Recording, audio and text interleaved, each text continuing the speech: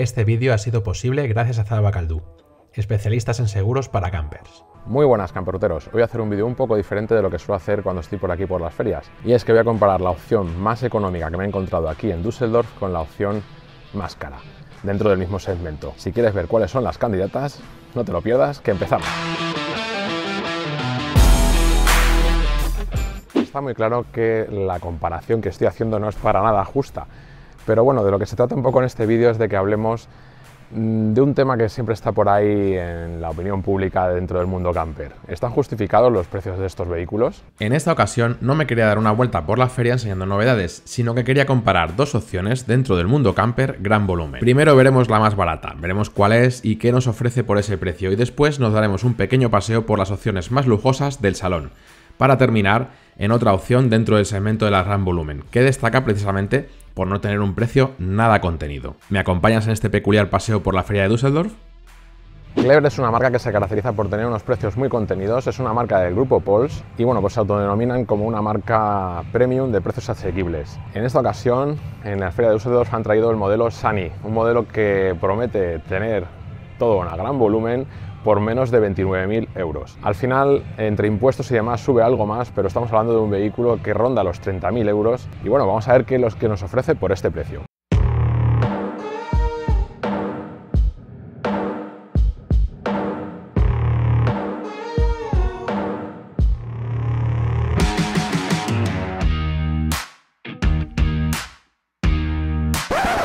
Un momento, un momento, no, no, no es esta. Esta es la Clevery 540, que es el modelo de entrada hasta el momento. Un modelo bastante asequible que podíamos comprar en España rondando unos 40.000 euros.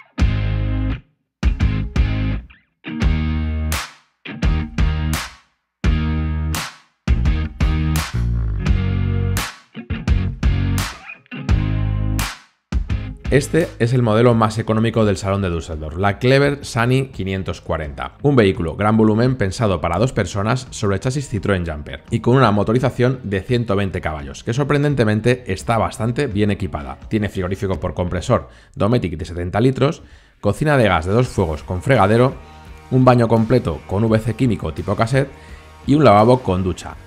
Eso sí, si queremos agua caliente, supone un extra de unos 500 euros. El equipamiento se complementa con un pequeño salón para dos personas y una cama fija doble que se coloca sobre el salón.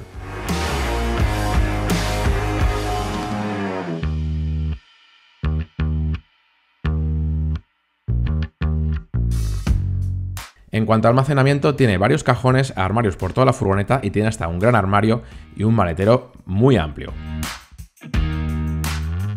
un equipamiento base que sorprende por este precio que incluye hasta la mosquitera de la puerta corredera. Bueno, pues aquí tenéis la SANI, esta es la información de la que dispongo y además he tenido la suerte de poder hablar con el distribuidor de esta marca en España y os tengo que dar una mala noticia. Me ha dicho que de momento este modelo no va a llegar a España por problemas de homologación. Así que, bueno, tardaremos uno o dos años seguramente en poder verla por allí. Pero bueno, es un tema curioso que podemos ver aquí. También es cierto que aquí no tienen impuesto de matriculación. El IVA es más barato, es un 19% en lugar de un 21%.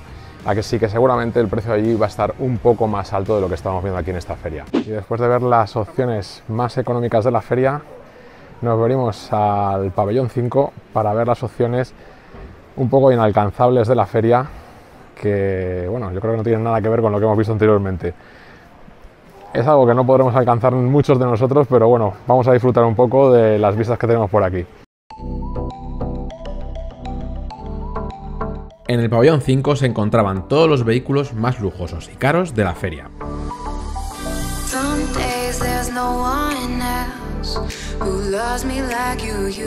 Desde camiones 4x4 hasta verdaderos palacios sobre ruedas que pueden llevar en su garaje auténticos deportivos como el caso de este Maserati.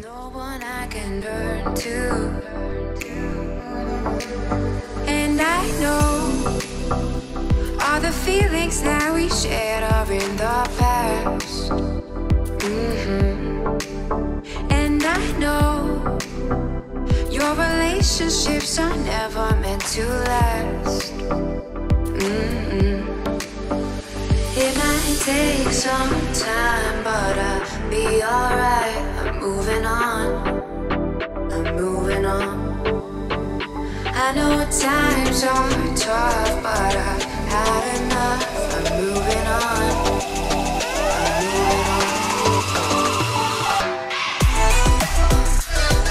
Es un buen sitio para poner los dientes largos, pero vamos a seguir con nuestro vídeo y vámonos a ver la gran volumen más cara que me he encontrado. Ahora vamos con la opción más cara. Es una modificación que ha realizado Palmo sobre esta Mercedes Sprinter que realmente ya es un modelo de la Himer, o sea, ya es una modificación de una Sprinter una Sprinter 4x4. Este realmente sería el modelo eh, Gran Canyon, pero Palmo ha hecho una serie de modificaciones que la ha llevado todavía aún más allá, convirtiéndola en un vehículo todavía más exclusivo.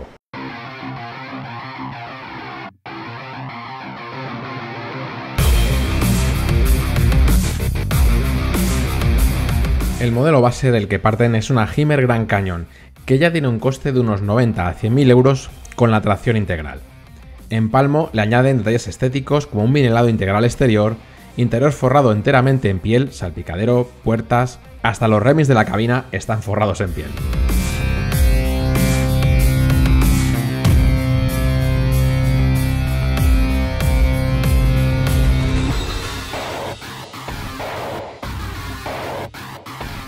La verdad es que es una preciosidad. Si ya la Himmer Grand Canyon es algo muy interesante de ver, este vehículo con estas modificaciones es totalmente alucinante. Y es que podemos hasta admirar las estrellas dentro de nuestro vehículo. Tenemos un techo muy, muy exclusivo.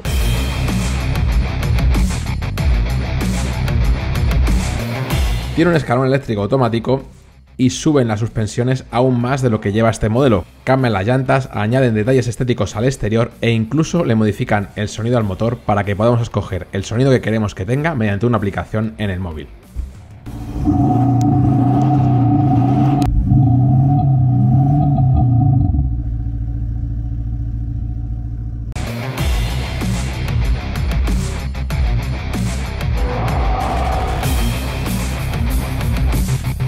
Todas estas modificaciones hacen que este vehículo se sitúe en un precio de unos 200.000 euros, convirtiéndolo en una camper al alcance de solo unos pocos. Bueno, como os decía, la comparación no era para nada justa y realmente es una comparación un poco imposible. Estamos comparando dos vehículos que son totalmente opuestos dentro de lo que es el segmento de los vehículos camper gran volumen. Pero bueno, un poco lo que me pretendía con este vídeo es que veamos opciones económicas, opciones muy exclusivas y que hablemos un poco sobre ello. La cuestión es, ¿realmente está el mercado inflado o no se puede fabricar a un precio tan bajo? Teniendo en cuenta que cualquier furgoneta, lo que es el chasis, ya está por encima de los 20.000 euros. ¿Qué os parece la opción de tener un vehículo por menos de 30.000 euros? ¿Creéis que es posible? Dejádmelo en los comentarios y también pensemos un poco eh, qué sentido tiene un vehículo de más de 200.000 euros como el que hemos visto de Palmo y bueno, pues entre estas dos cosillas me gustaría abrir con vosotros el debate sobre los precios del mercado de las furgonetas camper. Y bueno, hasta aquí el vídeo. Si os ha gustado, ya sabéis, dejarle un buen like. Os dejo por aquí otro vídeo relacionado sobre la feria de Düsseldorf y nos vemos pronto. Recuerda suscribirte que también lo tienes por aquí. Venga, nos vemos pronto, chao.